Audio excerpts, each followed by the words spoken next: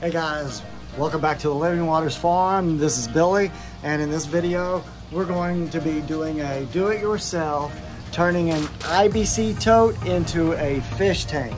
Now, I've done other videos uh, in the past, DIYs, and that's when we cut our first one over here. We turned that into an IBC tank, and we did that in this video.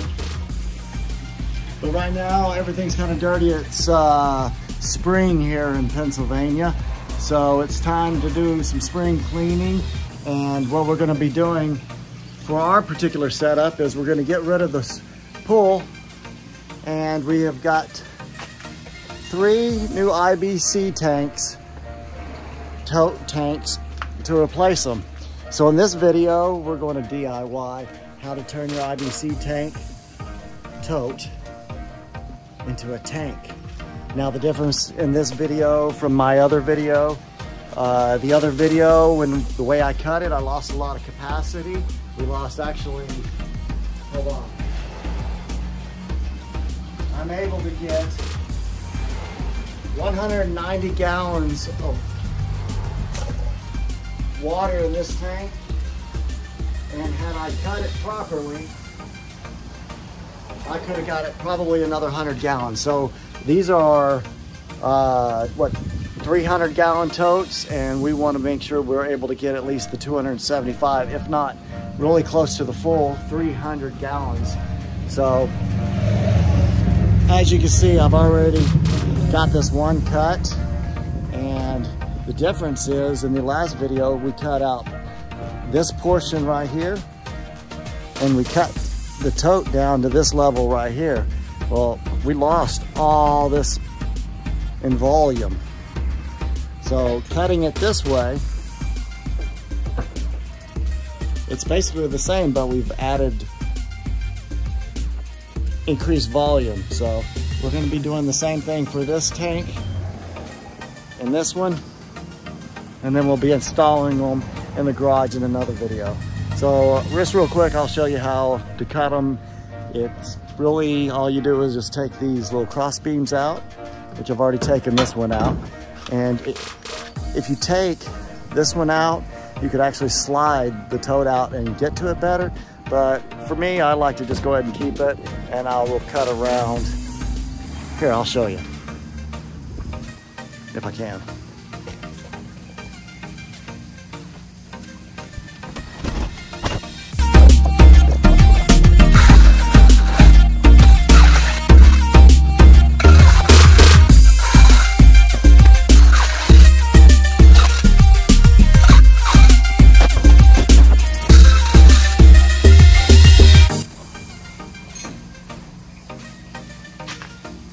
Whatever part the saw can't get, you can just get any old saw. I just grabbed a hacksaw. It's the first thing I could find.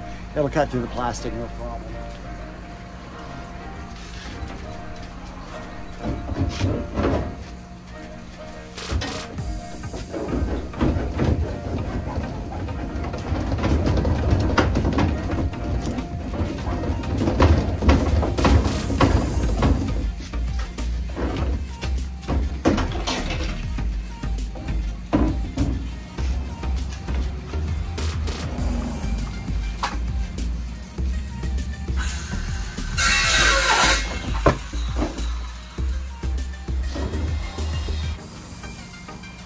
guys, that's basically it. Now, I've been working with these tools for a long time, and please don't follow my examples. You should always have safety glasses, gloves, and whatever the appropriate safety equipment is. With that being said, here we go. So now I've converted that tank into a you know, full capacity 300 gallon tank now that I can continue to raise my fish in. And I'll be plumbing the three of these together uh, using the 55 gallon barrels here as filters. Plus I've got some other filters. It's gonna be overly filtered water, but in it I'm going to be raising my my uh, my tilapia in one. I've got my goldfish feeders that I'm breeding for coloration, you know, for uh, for uh, backyard pond fish. And then my koi. I'll be raising in one until they're big enough to go out into our koi tank, koi pond that we're building out in the back, which you'll see all those in further videos. All right, guys, well, that's about it for this video. If you have any questions, feel free to leave comments. Don't forget to subscribe if you haven't already. There'll be more videos here coming up soon where I'll be plumbing all these together and doing a DIY for those. That's it for this one. We'll see you in the next video. Peace out.